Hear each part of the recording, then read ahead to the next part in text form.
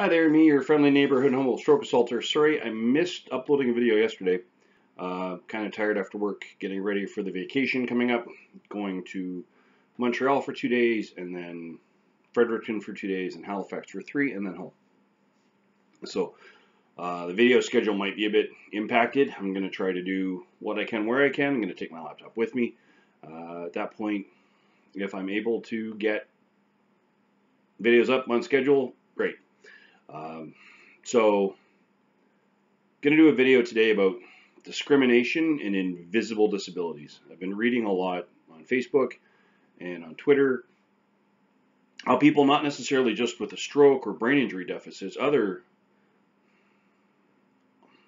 unperceptible, unimmediately observable deficits are being discriminated against and are being told by uninformed, uneducated, and ignorant individuals, well, you look fine. I've done a couple of videos on similar topics, but we're going to discuss this one in specific. So, I'm going to use me as the, the immediate example. I'm six foot two, 240. I'm, I've gained a few pounds since the stroke. I haven't been as active as I'd like to be, but that's going to change soon. You wouldn't tell now, this is all situationally dependent as to what time of day it is, how long I've been active that day, where I am, uh, and other environmental factors. To look at me initially, you would not be able to tell I've had a stroke. I have no physical damage or structural damage from any form of surgery on the brain case. So I don't have any scars from my stroke. Um, the only thing medically that was done was uh, breathing tube, uh, like the nasal thing, and I had a whole bunch of IVs in. And then those little pads so they could see if I had a heart or not. So from my hospital experience, you wouldn't know. Like there's there's no outward signs that you can physically look at me and go, hey, he's fucked up. But I have some lasting deficits that have either been obvious and present since the stroke or things I have had to learn, unfortunately, experientially since the stroke that are my deficits. And I, I have to amputate my tongue almost three to six times a month, sometimes more, when people try to give me the, oh, but you look fine oh, there's nothing, like, I can't see anything wrong with you. Well, yeah, you can't see it because all of my deficits, with a few exceptions, are almost invisible. So I initially started out with a really bad stutter, really bad vocabulary issues. Uh, I had very prevalent, very present verbal um, apraxia, meaning I did a video about this. Uh, verbal apraxia, that's where there's the muscular misfiring between the brain and the neuro neurological context between the brain, the muscles, and me trying to form words. That's what it sounded like I was stuttering.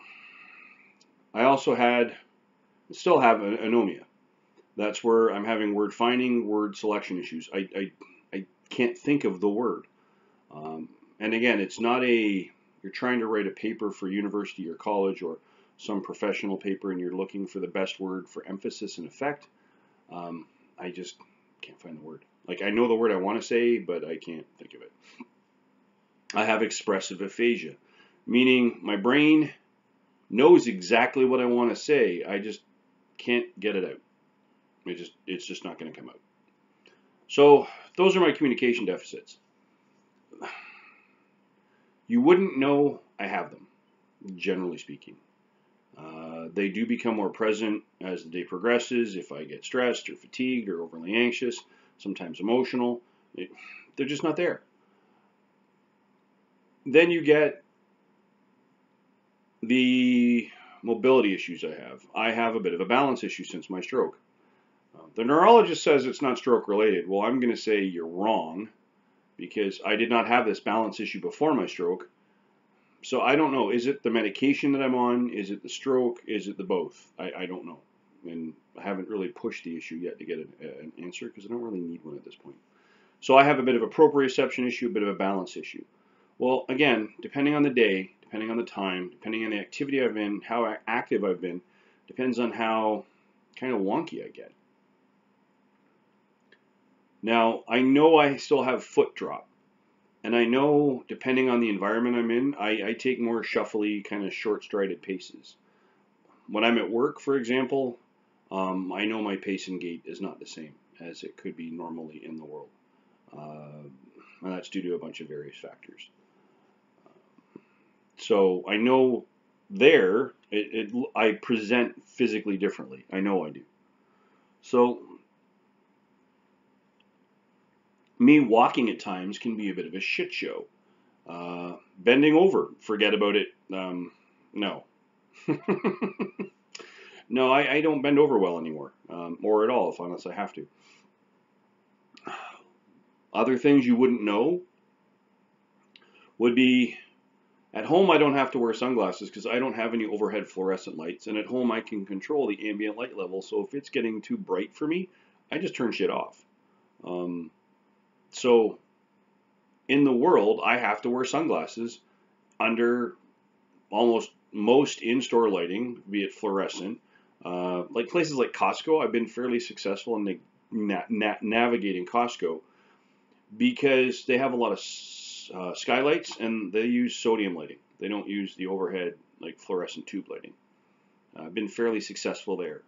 Uh, other stores, I immediately have to put on my uh, sunglasses and yet again, in other stores, I need to have sunglasses and earbuds because there's just too much ambient noise.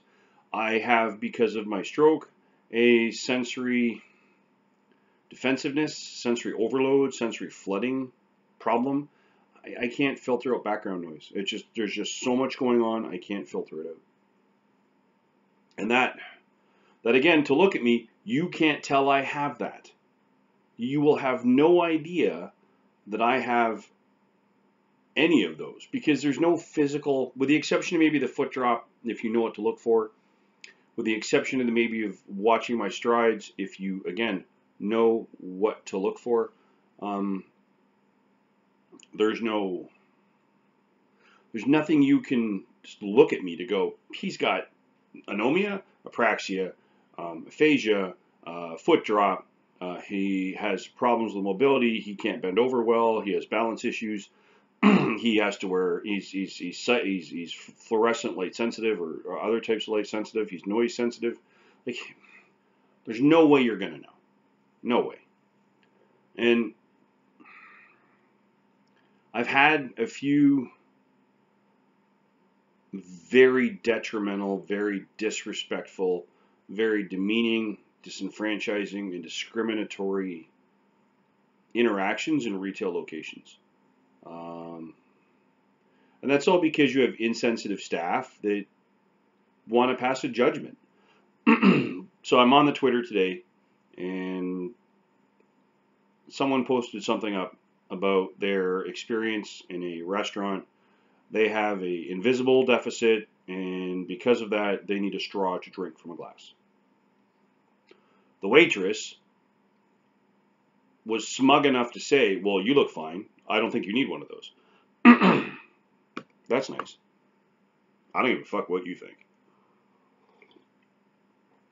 I really don't. I care about the individual and their deficits, their difficulties, and they already know what they are, right? So now you have someone in a position, and I don't mind, me personally, I've been open about my stroke. Um, I'm not usually this open about my life. Uh, but then again, I had my stroke at work in front of 150 people that I kind of sort of know. Uh, and I figure stroke is a very misunderstood disorder. Stroke is a very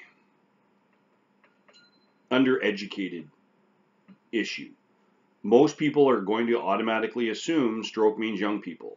Most people don't know someone who's survived a stroke per se. Uh, I I'm lucky. I'm incredibly lucky, and I, I like to admit and acknowledge as often as I can that I had or have had one of the best outcomes that possibly could have been had due to a stroke.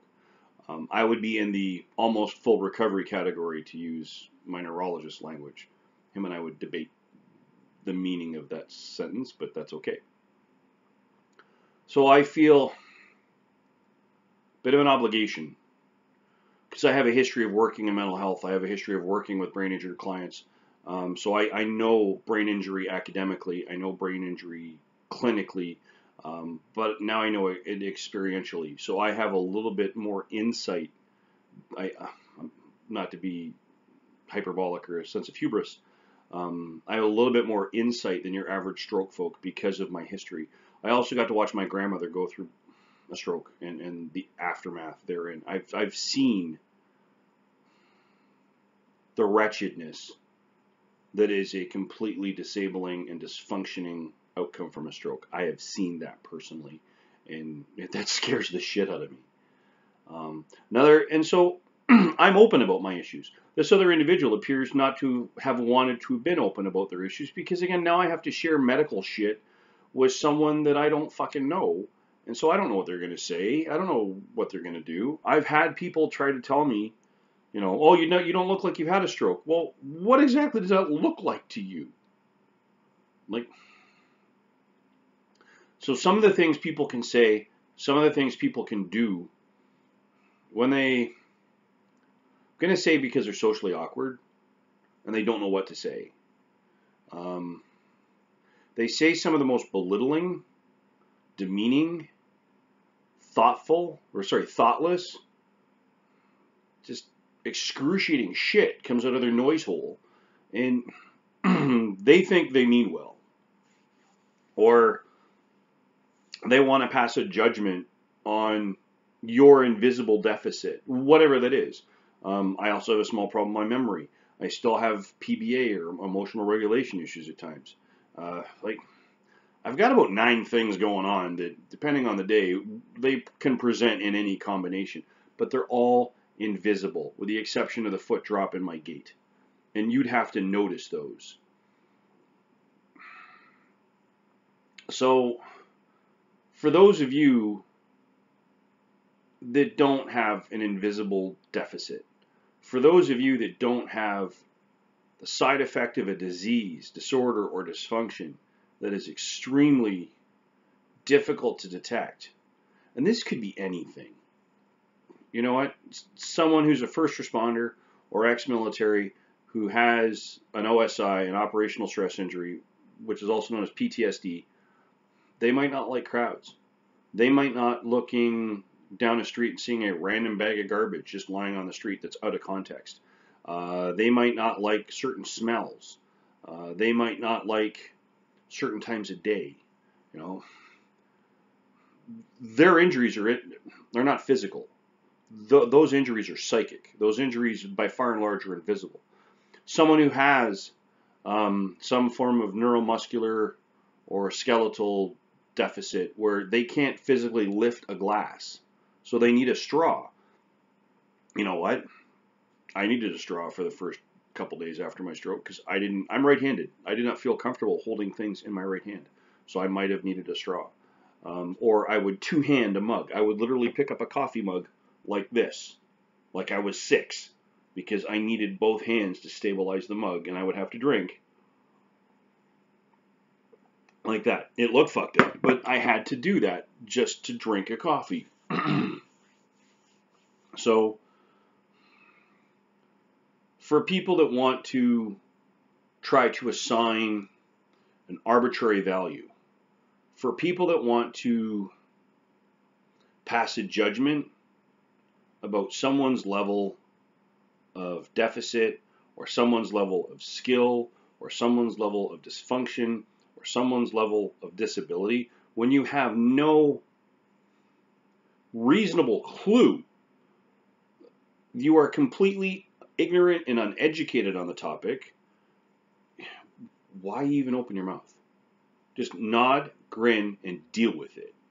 If they tell you, you know what, I don't have the ability to do this, don't question it. Luckily, in the States, you have the Americans with Disabilities Act. You have one piece of federal legislation that protects everyone with a disability. Sadly, in Canada, in my country, we're not that lucky. There is no one piece of federal legislation. They're patchwork of provincial legislation and some federal legislation for federally regulated or protected occupations or anyone that might work in, for the federal government. It's very disheartening. It's very discouraging. It's disheveling. Because right? I have ended a relationship with a specific store in my city because of the way I was treated within the first week or two after my stroke. Um, because someone that works there basically was an asshat and said things that, you know, didn't need to be said. So I've discontinued a relationship with them. Um, because it's just easier not to have to try to go back to that space um, and not want to lay into someone. And and I've seen this on the various stroke groups I belong to on Facebook, and I saw a post today on Twitter, and it just enraged me that someone who has a deficit, and that doesn't matter what that is, someone who has a disease, again, that doesn't matter what that is, someone who has some form of dysfunction or disability in their lives, and again, that doesn't matter what that is. If it is invisible, that means you can't see it. And who are you, short of being a licensed medical mental health practitioner needing more information, you are just a layperson in a restaurant, a layperson in a store. Um, I don't care who you are. You have no right, you have no ability, you have no training, experience, judgment, or necessity to judge someone else's level of functionality. You don't. You do not have that agency. You do not have that privilege. If they tell you they are disabled, shut up and deal with it. Because I'm in a position between three to five times a month where I almost have to amputate my tongue because someone wants to say something that is completely discriminatory about my level of ability or lack therein, depending on the situation. And on that note, I'm going to step off my soapbox. If you like what you've been watching the last, count it with 12 months and six days. If you like what you've been watching for the last almost 12 months, please like, share, subscribe. If you know someone going through a post-stroke or post-brain injury journey, or you know someone that's supporting someone going through a post-stroke or post-brain injury journey, please point the channel out to them. They may get some value out of the content that I generate. If you want to get in contact with me directly, you can email me at strokeassaulter at gmail.com. I say again, that's strokeassaulter at gmail.com. Or you can reach reach out to me on Twitter uh, the handle, Twitter handles in the description down below. Or you know what? Leave a comment. If there's something you want to see me cover, is a conversation you'd like to have with me, some information you'd like to bounce off me, whatever, please just get in contact. And if you happen to see what appears to be either in yourself or someone around you, the signs or symptoms of a stroke, that being someone, someone who appears to be immediately befuddled, confused, or has lost your sense of balance someone who has uh, vision problems. They can't see in one eye. They only see in grayscale. They see a little dot in the world. They can't move their eyes in a certain direction. Someone who has facial droop. There's a noticeable visual slackening of the facial mu muscles on one side. Someone who can't raise both arms equally effectively or at all. Someone who can't smile equally effectively or at all. Someone who has slurred, stuttering speech, inappropriate word usage for situation and context. Someone who has um, general body weakness, weakness on one side, or an inability to stand unaided please immediately place that person in a position of comfort and dial 911. Something so simple can save a life.